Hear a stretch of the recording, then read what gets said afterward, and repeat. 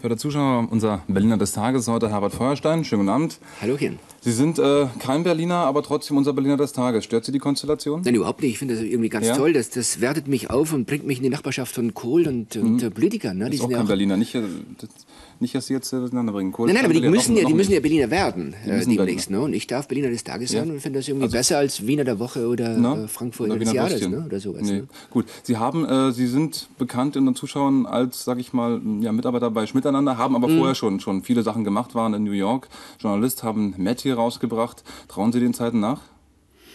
Ähm, nein, ich meine, natürlich traue ich jederzeit nach, in der äh, Harald Schmidt noch nicht äh, mein Leben ruiniert hat. Mhm. Und die Metz hat war natürlich sehr schön. Ne? Da konnte ich alleine machen und treiben, was ich wollte.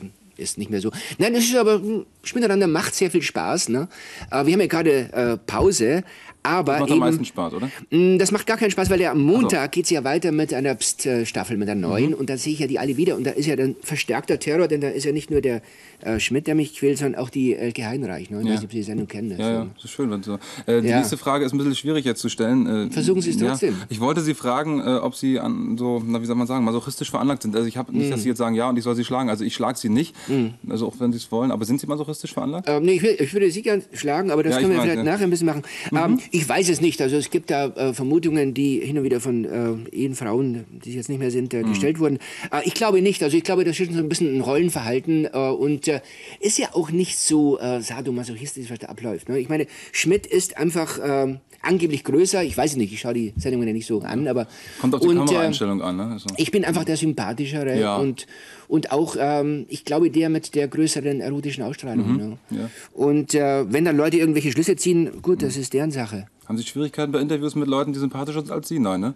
Äh, ich habe bis jetzt noch keine äh, getroffen, die mit mir gesprochen hätten, die sympathischer wären als ich. Wieso? Haben wir eine Aufzeichnung für ihn nachher nach der Sendung? Gut. Äh, glauben Sie an ein Leben nach Schmidt?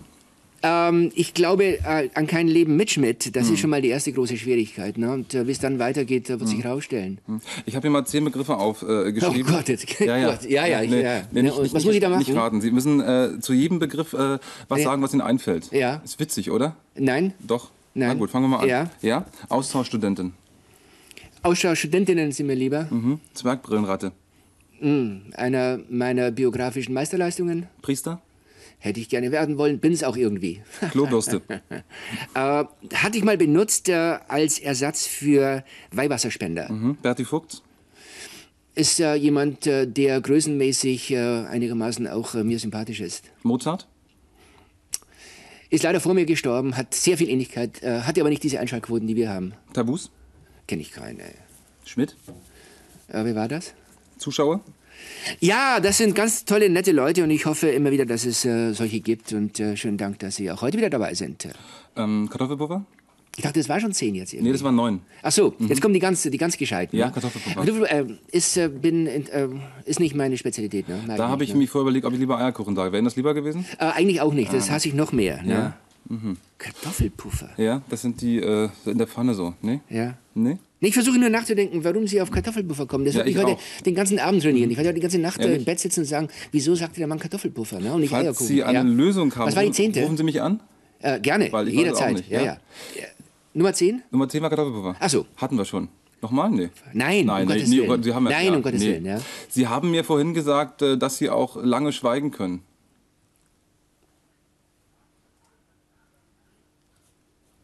Da ist was dran. Ja, also Ja. gut, Mhm, gut. Jetzt habe ich, ähm, bin ich ein bisschen, äh, ne? wir könnten noch schweigen. Ja, wir können jetzt noch ein Ja? bisschen äh, schweigen und das wäre auch sehr ganz nett, ne? Und will Ja, den nett. Leuten auch viel Spaß machen. Denn, Sie haben vorhin, als wir Sie angerufen haben, Ja. Oder die Kollegin von Ja. mir, Sie angerufen, da haben Sie gerade geschlafen, ne? Ja, nee, ich bin ja so ein absolut fanatischer Mittagsschläfchenmensch. Ich glaube, ich brauche das irgendwie, ne? Weil in meinem Alter kriegt man ja auch morgens so diese, nennt man äh, präsenile Nestflucht, wo man dann irgendwie schon um 6 Uhr aufsteht und äh, klingt irgendwie sehr gut. Und äh, äh, stehe also früh auf und mache dann nachmittags mein festes Schlafchen, Schläfchen, wo ich dem Körper sage, äh, Feuerstein, äh, so nenne ich meinen Körper, äh, du kannst dich jetzt ausruhen. Und dann ist der Tag wirklich in zwei Teile geteilt. Und ich kann auch abends, nachts, Nein. die ganze Nacht arbeiten. Doch. Ja? Ja. Haben Sie deswegen so leichtfertig zugesagt, weil Sie noch im Halbschlaf waren? Aber das war eigentlich so eine Art, äh, Mhm. äh, äh, wenn ich mir das hätte träumen lassen, was auf mich zukommt. Ne? Nein, das, ich finde das toll. Also ich finde Ja? Und ich bin auch, äh, ich, ich mag Berlin wahnsinnig gerne. Ne? Also es ist eigentlich, früher war Hamburg meine Lieblingsstadt und ich muss sagen, so in den letzten Jahren ist es Berlin geworden und äh, bei jeder Gelegenheit, die ich irgendwo habe, komme ich her. Weil Kohl herkommt. Äh, Hat mit Kohl gar nichts zu tun. Nee, im Augenblick mache ich da irgendwie so für einen äh, Privatsender dinglich ein bisschen, ne, muss man nicht nennen. Mach mal äh, nach Kennt ja Sendung. jeder. Ne? Kennt- Ja, ja, ja. die zwei private. Ne? Gute Sendung. Peter Panik heißt die Na. Rolle. Ne? Herbert Feuerstein ist ein guter, abgefahrener Künstlername. Wie heißen Sie richtig? Äh, eigentlich heiße ich Schmidt, aber das Ja. ist mir zu banal gewesen. Ne? Da hatte ich meinen Vater, der hieß zufällig auch Feuerstein, die Mutter auch. Und da habe ich gedacht, warum heiße ich nicht auch so wie ihr? Ist gut, ne? Ehrlich, Haben damals ja. gleich, äh, gleich ihr Veto eingelegt. So ist Erfolgreich, es. Ne? Und trotz Hebammmenprotest. Ne? Sie haben mal gesagt, Heber, haben Sie auch Ja, habe ich vorher mitgekriegt, ja? ne? war gut. Hat ja. bei Ihnen die ja. Hebamme auch protestiert? Hat auch protestiert, hat nichts ne? genutzt, sie wurde Nee. trotzdem geboren. Aber ist gut, ne? Ja, doch. Also jetzt freut sich äh, die halbe, ne? So sehe ich das auch, Ja. ja. Ähm, Sie haben mal gesagt, Sie sind wie eine Zwiebel. Man kann eine Haut nach der anderen abziehen und dann bleibt nichts mehr. Da müssten die Leute auch weinen, wenn sie Hey, sehen. Sie lesen den Spiegel, finde ich toll. Ne? Ja, habe ich, hab ich irgendwie gesagt aus Verlegenheit, weil mir an der Stelle nichts einfiel. Kann es auch gern wiederholen. Ich bin wie eine Zwiebel, die, äh, wenn man eine Haut nach der anderen abschiebt, abzieht, plötzlich äh, nichts mehr übrig lässt. Moment, also die Fragen ein bisschen anders. Äh, Herr Feuerstein, mit welchem Gemüse könnten Sie sich denn identifizieren? Naja, also eigentlich so mehr mit einer Möhre. Ne? Äh, auch vielleicht äh, Peterseele und Stangenspargel, äh, aber am wenigsten eigentlich mit einer Zwiebel. Am wenigsten, weil man die zieht man nacheinander ab Und dann ist nichts mehr übrig da. und das wäre irgendwie Gott, blöd. das wär So blöd, ist ne? es. Schön, dass trotzdem übrig geblieben ist, dass Ja. Sie heute hier waren. Schön da gewesen zu sein. Ja, Mhm. ehrlich? Vielleicht mal wieder? Gerne wieder. Gut, schönen Dank erstmal. Wir haben an der Stelle Tickettipps.